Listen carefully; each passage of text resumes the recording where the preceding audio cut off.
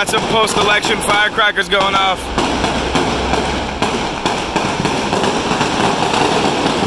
Wow, there's a lot of firecrackers going off right now. Whoa! I've been living in Colombo for almost two months now, and I have never seen the streets so empty. This is what Sri Lankan elections look like. Pretty much no traffic going on. But that's it, the polling is closed, and Sri Lanka has a new president, and the new president of Sri Lanka is Ladies and gentlemen, Kohoma de Ayuban. Welcome back to another video here in Sri Lanka. We are in Colombo today, in Mount Lavinia, and today is a very exciting day. It is Sri Lankan Election Day. 2019 election here in Sri Lanka is going on today. People are outside in the polls, voting today all day. The streets are actually quite a bit emptier than they usually are.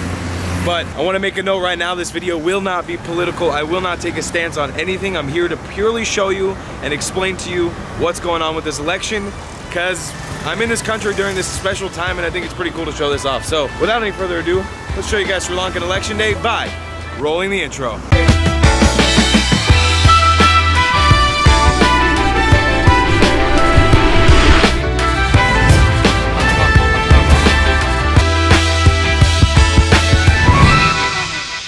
We start this video, I want to tell you guys who this video is sponsored by, and that is NordVPN. I will talk about them a little bit later in this video, but if you're coming to a country like Sri Lanka and you want to protect yourself on the internet, make sure that you check out NordVPN down below in the description. So we're starting this video in the office with everybody's favorite. You guys know him, you love him. It's Shetty. Go home with it, Shetty. I'm good. How are you? Good, good, good. So Shetty just went to vote, right? Today in the morning. Can you show us what that is on your finger? So that's a marker. So they put make sure we don't cheat voting. So this is the evidence that we vote. And this is what Shetty's finger looks like right now. What is this? Is it just ink? Uh, it is a kind of a kind of permanent marker ink. It stays for for weeks, at least two three weeks in the hands. It's hard to wash off. Super interesting because that would never happen in the United States of America where I'm from. It's so interesting that everybody has to kind of paint their nail.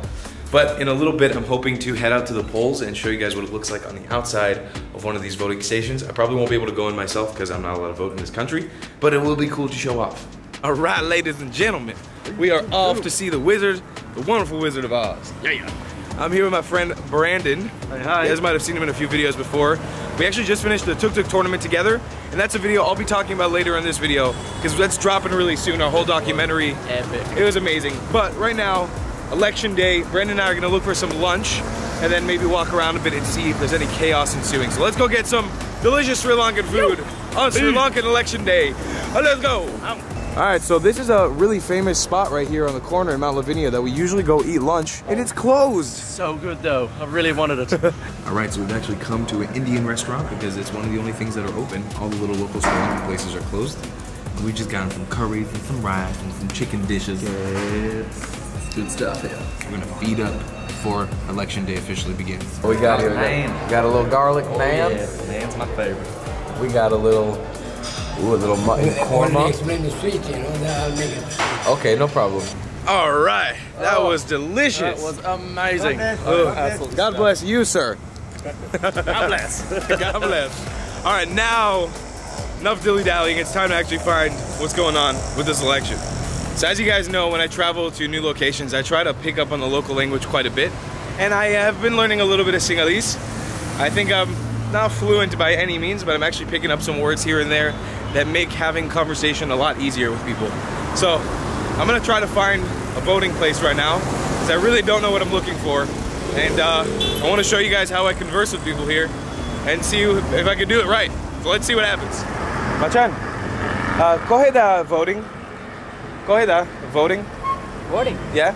Uh, you have to go from there, Uh huh. and uh, there is a temple. Name? Huh? Name, the temple? Uh, Dakshinaram. Daksharama? Yeah. How many minutes walk? You mean the waiting time? Or no, just to walk. I can't vote. I- I'm not Sri Lankan. Ah, okay. I just uh, want to go see. It will be around five minutes walk. Yeah. Five minutes Yeah. walk? Just straight? Yeah, just straight and turn left. There's a temple. Okay. Straight, Uh, turn left. Yeah. Okay. Okay. then Stuti. you- okay, thank Stuti Machan. Huh? What do you guys think? Am I becoming Sri Lankan or what? It's crazy how many of these shops in uh, Mount Lavinia are closed today for the election. I'm kind of amazed that in election day it's sort of like a holiday. things are just kind of closed down and business is not really run. I guess that's their way of sort of trying to promote people to go out and vote and focus on voting for just one day. So I think from what I've understood, this is the temple like I was told to go to, but I don't know, it looks like the temple's empty and also says don't walk through the temple. So don't really know if people are voting at this temple or not, but don't don't know where to go next. Go ahead, uh, voting. Sorry? Go ahead, uh, voting. Ah. Yeah. Go, go ahead. Uh. Yeah, I want to take picture of voting. St. Thomas. Left side there. Okay, Stuti. Stuti. Alrighty, it seems like we got a lead on where the voting might be happening. Pretty interesting. I didn't think it would take this long to try to find it. I've been walking around for about 20 minutes now. But I got the heads up that there's a school here on the left, St. Thomas, I think is what it's called. And there should be some voting going on over there. Yeah, there we go. St. Thomas. I think this is a Christian school. The big cross outside. This is what the school looks like. I wonder if these booths right here are here for the voting or if this is always here. That tuk-tuk driver over there is one of the guys I spoke to earlier. He just went out of his way to tell me that I'm going the wrong way. What a nice guy. He just stopped over here and was like, right side, right side, get ready to take some pictures. Uh, I don't know how much of this I'm allowed to film.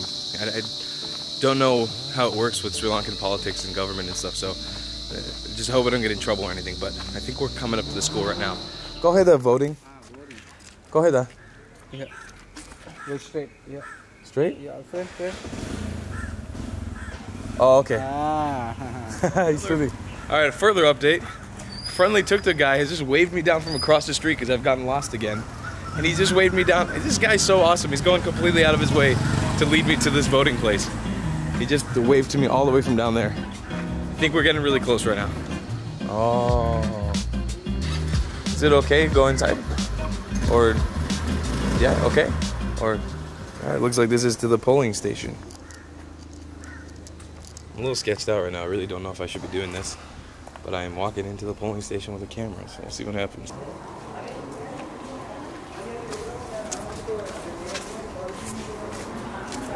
Is it okay to take a picture in the area? Picture. Is it okay to take picture outside? In this? No, no, no. No, like not inside, but outside over there. Okay. Okay.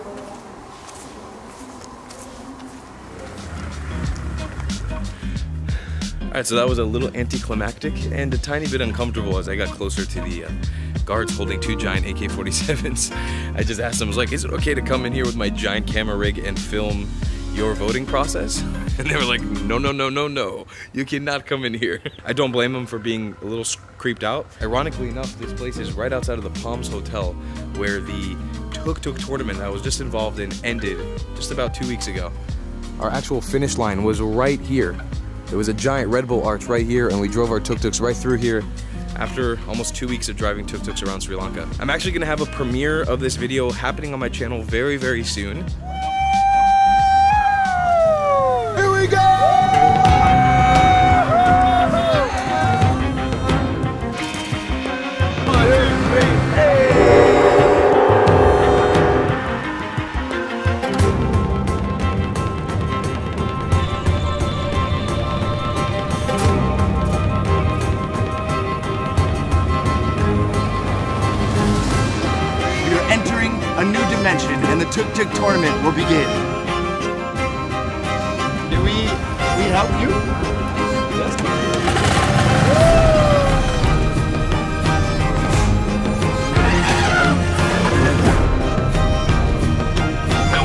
Gems for this, ladies and gentlemen.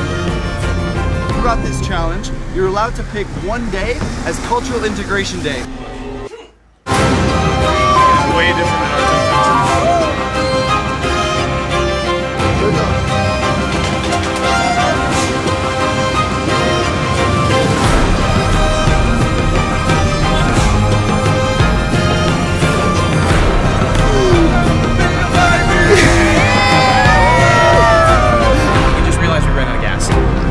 to the location on the dot and it's just like some house.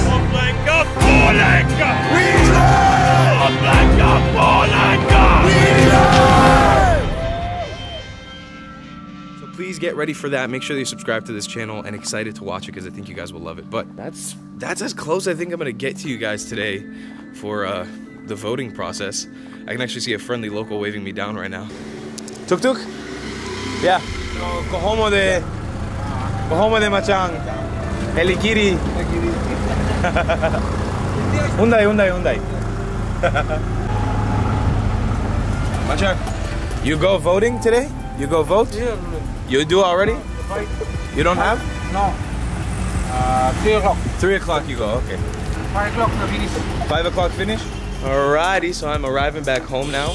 Pretty uneventful, according to what actually happens in the next few days. Maybe things will hype up, maybe they'll die down, maybe there'll be curfews enacted. You never really know.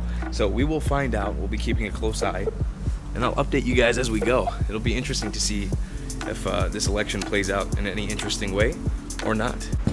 All right, good morning. It is the next day. I got a little cup of tea here that I'm drinking in the morning, and I thought it would be a good time to explain to you some of the stakes of the election because we're gonna get the voting results in just a little bit. All right, all right. I know that the lighting has changed, everything's a little different real quick, but I gotta tell you, before we get into the intricacies of the politics, about our sponsor for today's video, Nord VPN. Ladies and gentlemen, think of the internet as this cup. Now think of yourself as a fork. And think of your phone and your computer as a knife. what the f am I doing? When you're browsing the internet all willy-nilly, letting people mmm, mmm, sip whatever they want right out of yourself, you are leaving yourself exposed. Ladies and gentlemen, that's where NordVPN, yes, NordVPN is this fork, comes in to save your butt. A VPN is a virtual private network, and what it does is basically block your IP address from anybody being able to see it. But not only does it block your IP address, it blocks all your browsing history, all your browsing information from anybody who wants to steal it. When you're all willy-nilly hopping around airports, buses, going to trains, using that free public Wi-Fi that you love so much, those people who own those free Wi-Fis, they're taking all your data. They're stealing your bank information, they're charging your credit cards, they're doing all this really bad stuff to your money and your personal information. And you know what? You got a little shield that you're not using right now. It's called NordVPN. You just put that shield up, save yourself all this hassle. Ladies and gentlemen, NordVPN is here to save your butt. Now I want to tell you something. NordVPN is working together with me on this video to provide you guys with 70 freaking percent off. Okay, I work with a lot of sponsors on this YouTube channel, but geez, 70% off is a commitment, ladies and gentlemen. That's a lot of money off. Not only that, but with my discount code right now, you will get four, four months. Four months, ladies and gentlemen. This table has four legs. That's one month for every one of these legs of NordVPN that you can have right now for free if you sign up with my link in the description. Guys, I can't stress this enough. NordVPN is supporting this channel. I think you need to support them as well. I'm not gonna hanker on the point too much, but get yourself protected. If you're traveling, if you're like me, you're going to different countries around the world, you wanna keep your stuff protected. All right, let's get back into the politics of this video. So the two main contenders for the Sri Lankan presidency this year are, and I'm sorry if I'm pronouncing this wrong, Gotabaya Rajapaksa, and this candidate is more widely known as just Rajapaksa, and the next one is Sajith Premadasa. None of this is my personal opinion, but from what I've understood, Rajapaksa, voting for Rajapaksa is like voting for somebody who's already been in government. Rajapaksa is running with the party of the Sri Lanka Podujana Peramuna, or the SLPP. You know what you're probably going to get when you vote for this candidate because there's been a track record. His brother, I believe, was in government before, and I might be mistaken, but I think one of the campaign promises is running with his brother or his cousin, which will be voted in for prime minister or something like that if he wins. And Sajith Premadasa is running with the New Democratic Front, that's a party he's a part of. Voting for Sajith is like voting for a new, fresh candidate from what I've understood, even though he has tons of controversy behind him as well, like all the presidential candidates that I've understood in this country do. From what I think I've understood, a lot of younger people are voting for him because they see him as less of a established character in the government and is just sort of like a new person that could come in and if they don't like him could come out in five years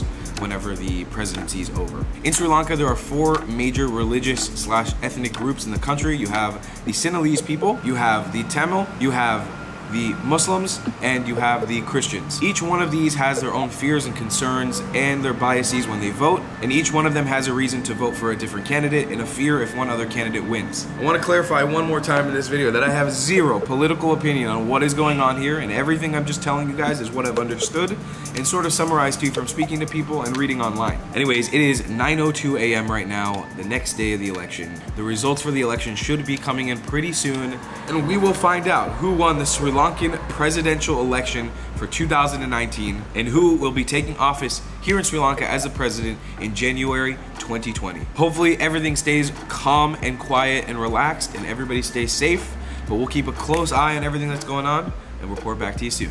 All right, so back in the office, we're now checking the computer and the news. It looks like Sajith Premadasa has 51% of the votes right now, and Rajapaksa has got 41% of the votes. Premadasa is actually winning right now.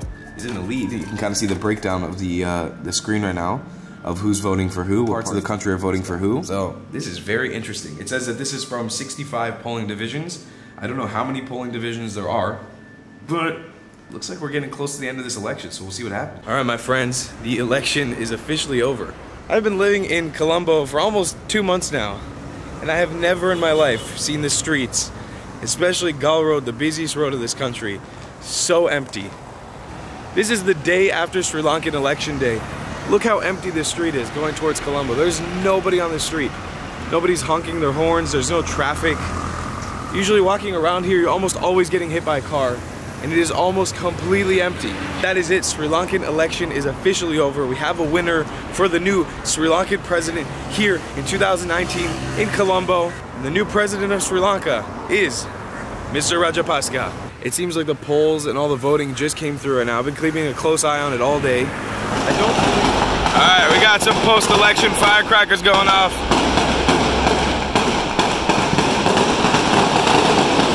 Wow, there's a lot of firecrackers going off right now. Whoa! These guys are very clearly happy about the winner. Sajith actually conceded from the election. He congratulated Rajapaksa on the whole thing. He said that a really beautiful note on how this was the most peaceful election in Sri Lankan history, that the seventh president of Sri Lanka will go in in a very peaceful way. So, I mean, I'm sure there's problems. I'm sure not everybody's happy, but it is pretty cool to see that there's at least a lot of progress happening in this country in a sense of, you know, peace and non-violent elections in a, in a democratic-ish system. That's it.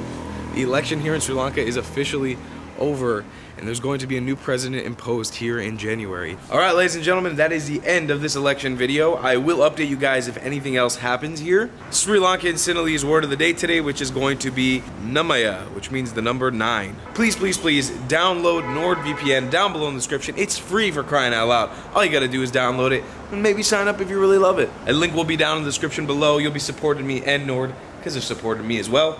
And I'll see you guys in the next one. I love you guys a long time. Goodbye, Clatts.